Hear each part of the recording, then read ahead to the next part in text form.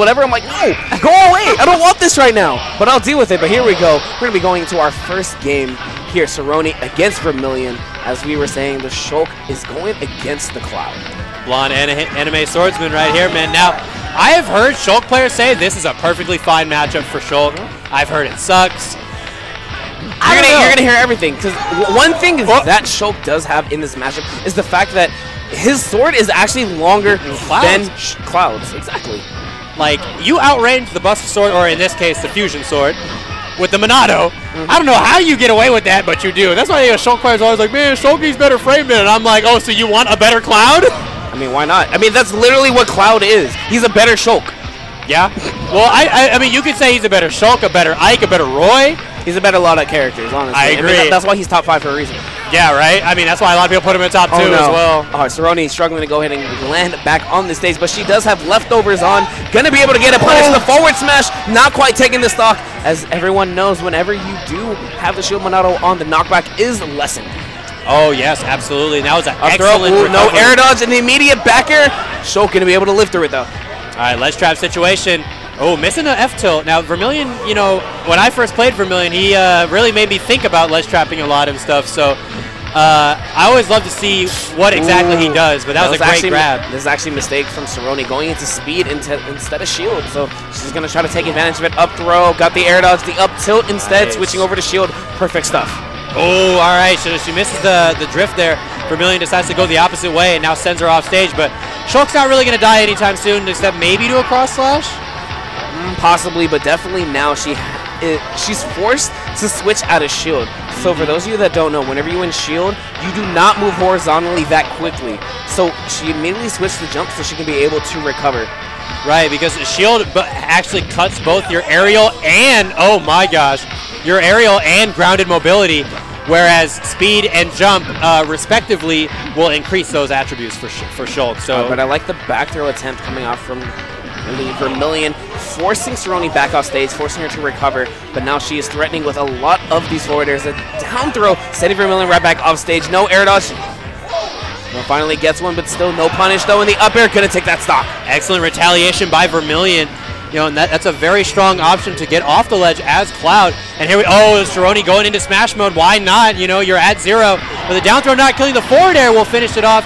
And this is where both characters I feel like can definitely edge guard each other pretty well, but Shulk especially with that, you know, long, you know, swinging forward air uh, in front of him to really catch uh, if Vermillion recovers wrong. I love the movement from these two right now, just kind of dancing around each other. Vermillion finally opens her up. No, but I like the answer that Soronie did have, immediately hitting him with that forward air, but the fact that Soronie is in the air, it is a struggle for her to go ahead and land back down. But hey, as I'm talking about that, she's making me shut up right now. She's like, Miho, I know, I know that Shulk is not the greatest character, but let me show you what he can do.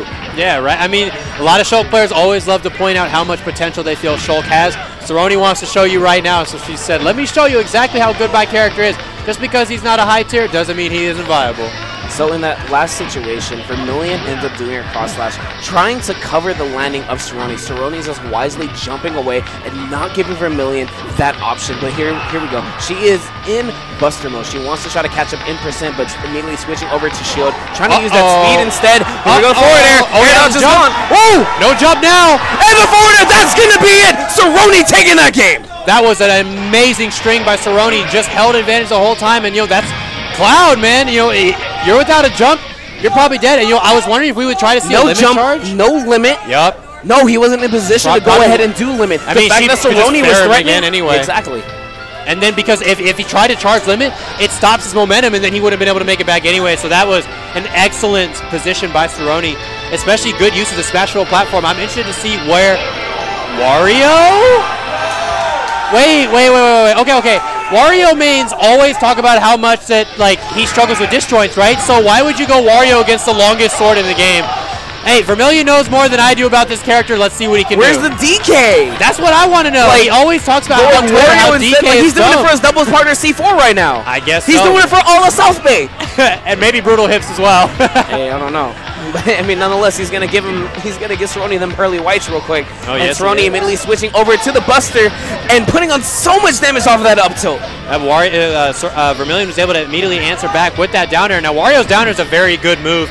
Uh, can kill at high percents and combos into the half waft, which is very, very, very deadly. But if Soronie's in shield at that time, she doesn't care. She'll take that damage and probably still live. Yep. I mean, that's the fact she's sitting at 53 right now, has a very sizable lead in the early goings of this match. Switching over to the speed Monado, I do like this pick. Now she can just run all over Wario. Wario not being the fastest character, but great mix-up right there. Crossing up the shield with that down air, as you were saying before. Yeah, Wario's air mobility is so good, so he's very good at crossing your, up your shield, you know, and just dancing around it with, like I said, with that beautiful air mobility. Wow. Here we go, smash Monado, but immediately just switching right off. Doesn't want to stay in it too long, knowing that Wario does hit really hard. Now, the, the interesting thing about this matchup is, you know, let's say Soronie manages to take this first stock without too much trouble.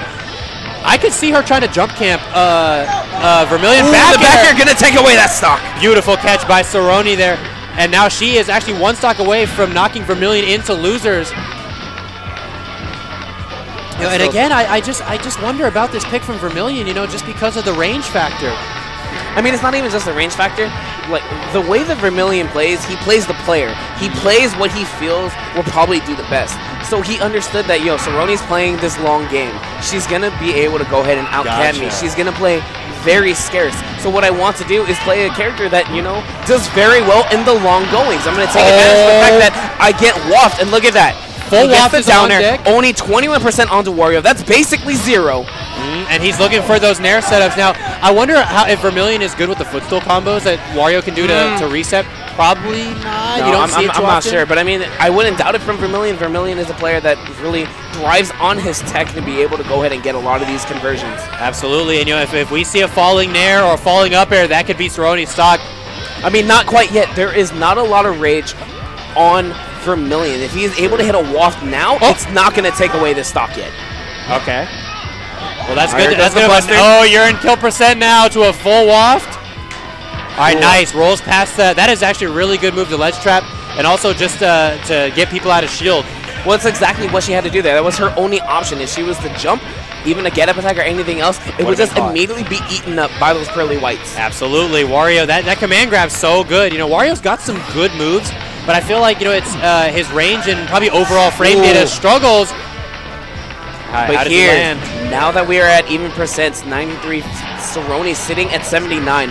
Full waft will most likely take away this stock, but as Vermillion misses, this is actually going to be very tough for him now. Especially now, Soronie hops into shield mode, knocks him off the bike.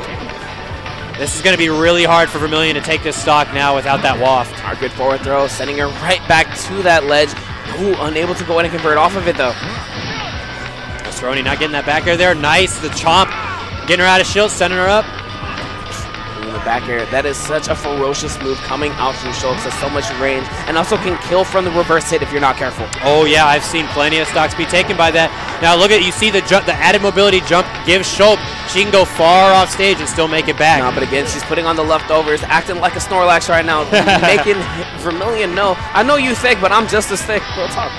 Stockpile? hmm You already know. But we ain't using Swallow. I don't need it right now. Wow, the up smash gonna catch, but here we go. Now Soronie at 128%. She is in danger to a back air or an up smash, but so is Vermillion to really Ooh, a back air. landing down. Oh. Almost casting him, but going for the up air, not the forward air instead. Nice dash attack to punish. Now she's back in shield. He's going. He's looking for that downer, but it won't kill her in shield. Oh, with the counter! She saw the future, taking away that stock. That was an excellent. She knew. She waited. She did not do that an entire. And look at this, set. Trayvonte and Shaky popping off, collecting their money. Let's go. Side bets. Let's go. Trayvon said, "Give me my money, boy."